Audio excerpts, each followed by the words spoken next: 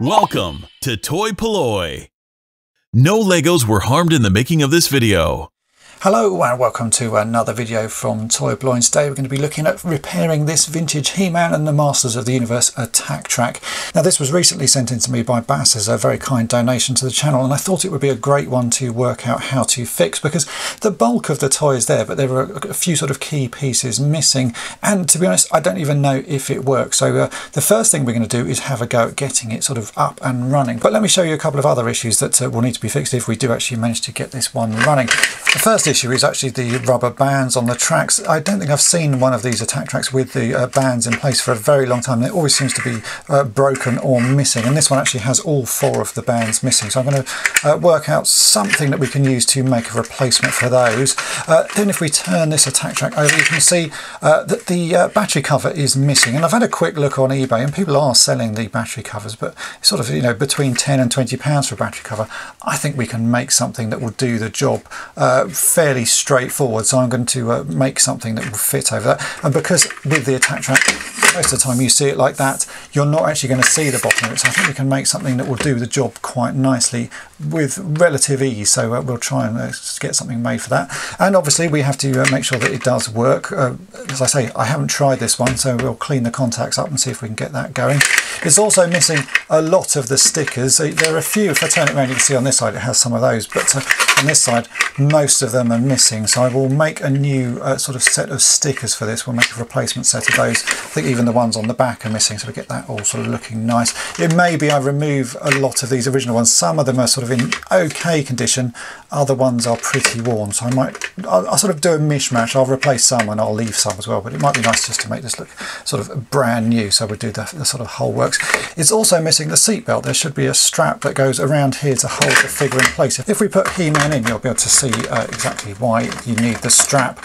You can see he does hold in reasonably well, but actually if you tilt this vehicle either way, uh, the figures have a tendency to fall out without the seatbelt. So we'll make a new seatbelt that uh, holds the figure in nicely there.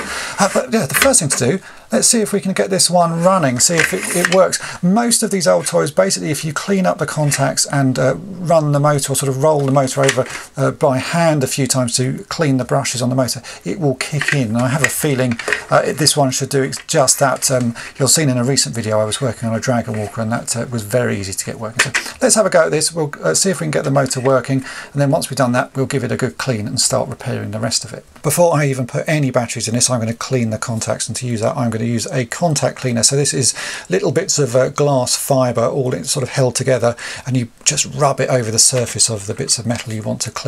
I've used these uh, many times before and I've shown them in quite a lot of videos. Uh, you can see here the contacts aren't too bad. This one is a bit corroded so uh, just a quick sort of rub over to get the worst of the corrosion off. Then we'll try some batteries and see if uh, it does actually work. But uh, first thing, let's clean these up as best we can.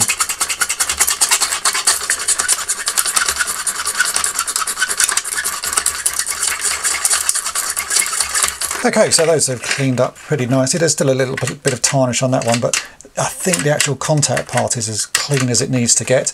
Next thing I'm going to do is actually turn the motor over a little bit, even before putting the batteries in. So on this vehicle, if you get one of the Attak Trak wheels and sort of push it to one end so it locks into the gear, you can then turn this, and you can hear the motor turning inside. So if I just turn this a little bit, it will clean the brushes on the motor, uh, they get a bit tarnished just like these contacts do. So if we just clean that a little bit.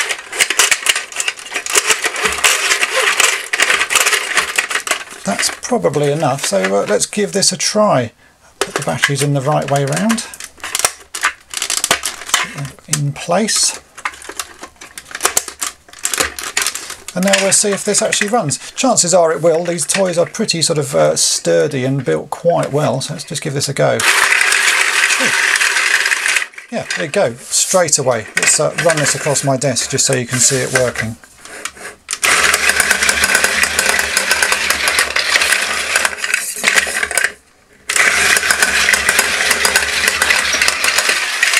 Yeah, there you go. That was uh, pretty straightforward. As I say, they're normally pretty uh, sort of reliable that you can get them working. Unless they've been dunked in water or something like that, the motors just seize up a little bit and a little bit of cleaning like that will get it working.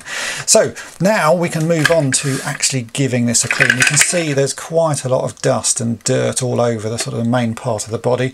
Uh, so I'm going to give this a wash with some hot soapy water. Because this has got electronics inside it, you don't want to actually submerge it in the water. I'm just going to get an old toothbrush with some hot soapy water on it and I'll brush away all of this dust and grime and give it a good clean and then dry it thoroughly, making sure not to get any water inside it or any water in the battery compartment. I'll also see if I can get rid of some of these little scuff marks off. I have a feeling a bit of lighter fluid and a cotton bud uh, may remove those, but we'll give everything a good clean and then we can start fixing some of the issues.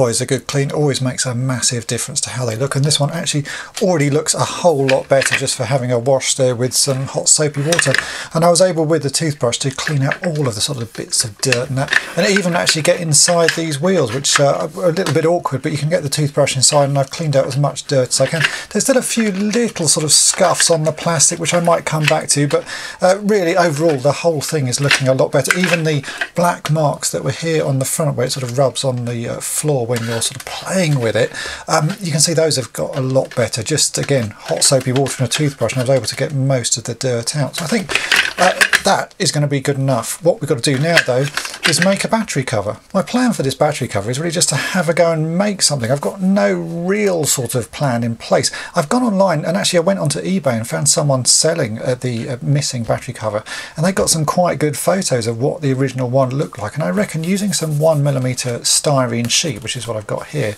I can cut something and fashion it so it does the same job as what the original would have done. You can see here that we've got a sort of indented battery compartment. So we need to cut a square that fits right to the edge of these outer bits of plastic and it sort of rests on this inner piece of plastic. And then there's a little bit of leeway that you can push it backwards so that there's a clip here that uh, sort of unclips as you as you nudge it backwards. And then there's some other clips that go on these two little sort of uh, pegs on either side. So I think I can make something I'm just going to sort of wing it really. I will cut a square and then see what I can fashion as I go along. And uh, if it works it works. If it doesn't well you know we've not lost anything but uh, let's try cutting some bits of uh, this styrene and see what we can fashion.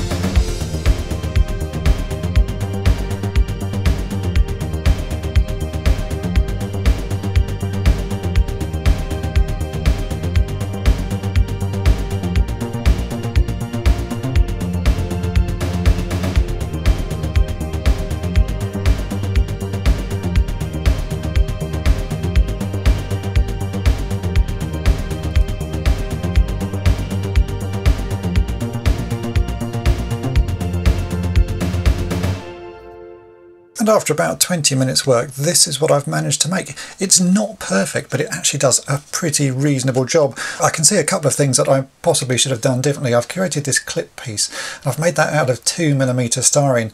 Uh, so you've got a sort of 2mm piece and then another 2mm piece on top.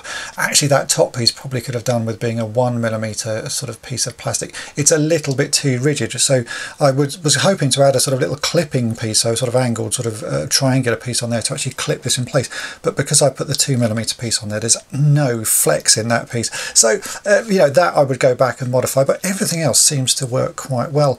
I've really tried to copy exactly what was in the photos that I managed to find. So I've got these two little C-shaped pieces on the either side and those clip onto these little sort of extrusions on the battery pack. And you can see the idea is you slot this in slightly back of those pieces and then slide it forwards. And that's where the clipping mechanism at the front should be. But actually this is going to hold in really very nicely. You can see that's pretty flush with the bottom. So even without the clip, uh, I think that will work. It may be that as you drag this along the floor that that gets pulled backwards but you know I think I can live with that for the moment. I may modify that again in the future but overall for it's taken me sort of 20 minutes to half an hour to make that I'm really very pleased with how that has uh, ended up and you can remove it quite easily. So yeah, it's a pretty half decent little battery cover that. Obviously it now needs painting. At the moment we're currently in lockdown. I know I definitely don't have any red paint so I will give this a quick undercoat with some grey primer and at some point when I can get back down to the local model shops that we have around here I'll buy an orange paint but uh, for now I'm just going to paint this grey so that it sort of uh, fits in but uh, doesn't uh, yeah it doesn't match the rest of the vehicle but as I say, we're currently in lockdown and none of the shops are open. And I've been buying stuff online, randomly picking colours, and that never particularly works very well. I'd much rather go to an actual shop and see what they have so that I can choose something that is the same colour orange as the Attak Trak. But for now, I think that battery cover will do the job very nicely. For the belt to hold He-Man in place, there are actually two little pegs on either side. You can see there's a peg there and a peg there. And the original belt was a piece of rubber that just sort of went around. It's got a few holes in it.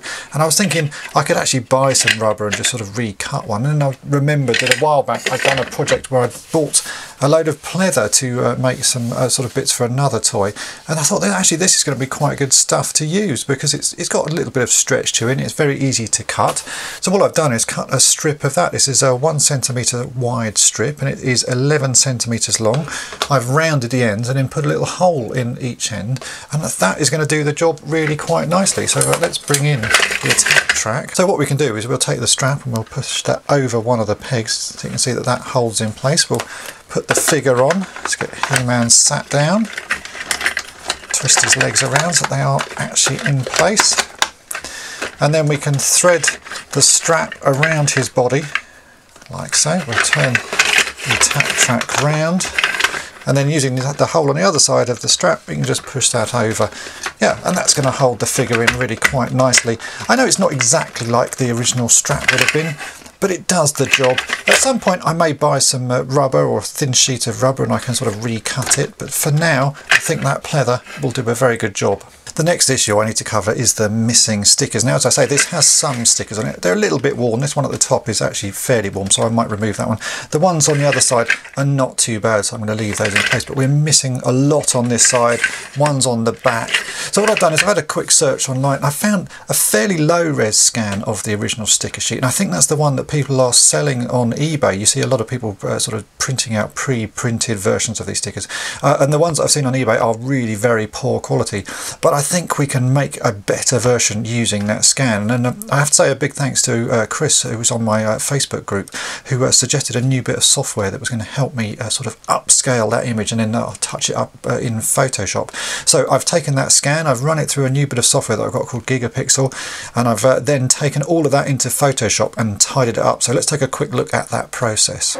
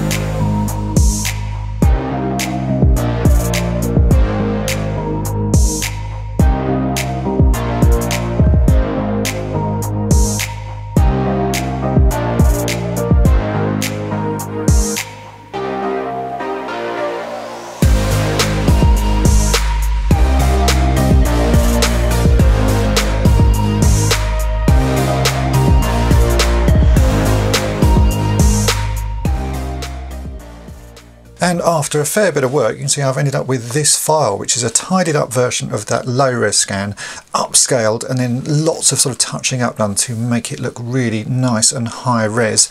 Uh, and this I've printed out onto some sticky back printer paper. This is actually a matte printer paper. You can print out onto matte or onto gloss, depends what you really want the sort of final result to look like. In this instance, I've gone matte and I've actually sprayed a, a thin coat of a clear varnish over the top of it just to make it look a little bit shinier. And as you can see, they do look really quite nice. So now all I've got to do is cut out the ones that I'm missing and stick them uh, back onto the Attak Trak. If you want to do this on your vehicle, then this file is available for free on toypolloi.com. So go there and download it and you can uh, get uh, your own replacement stickers for an Attak Trak. But uh, let's get cutting and stick these back on the vehicle.